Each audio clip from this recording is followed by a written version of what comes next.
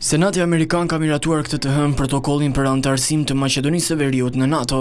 Sipas rezultateve të publikuara, tetëdhjetë e katër senatorë kanë votuar pro, dy kundër, ndërsa katërmbëdhjetë të tjerë nuk votuan.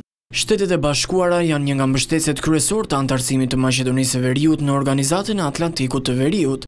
Deri më tani njëzet e katër vende anëtare kanë ratifikuar protokollin në parlamentet kombëtare, ndërsa pritet ratifikimi edhe nga pesë të tjera brenda këtij viti.